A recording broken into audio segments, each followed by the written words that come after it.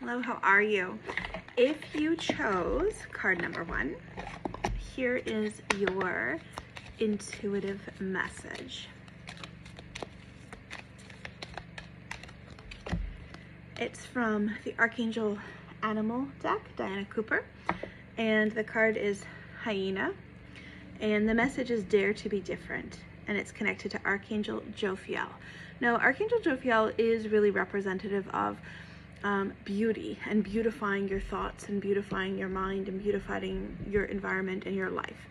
So if you were drawn to card number one, right now in your life, it's going to be important to um, take care of the people that you love, but recognize when it's coming from that light that's within you.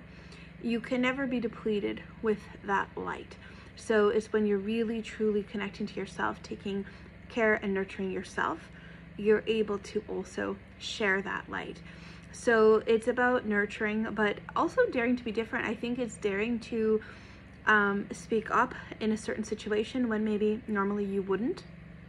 It's about not um, just going along to get along. It's actually about um, sharing a different perspective and being true to yourself, not betraying yourself in any way.